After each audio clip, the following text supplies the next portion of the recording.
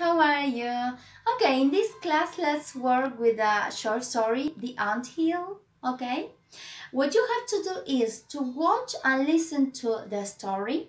Listen carefully, pay attention to the words, the characters, the story. Okay, so then you have to answer some questions. Number one, which are the characters?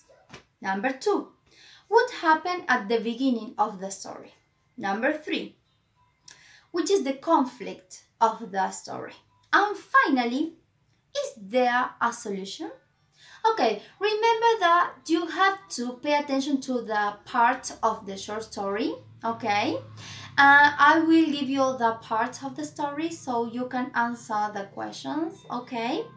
And uh, finally, you have to represent the story. You can use word or paint, okay?